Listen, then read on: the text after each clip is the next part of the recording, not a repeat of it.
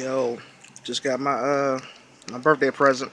So Porter Portastudio 424. So now I can finally make the beats how I want to. You know what I'm saying?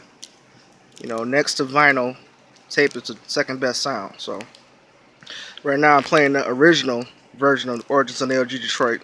You know what I mean? When I started originally on the project, I did it up on um, that cassette deck there.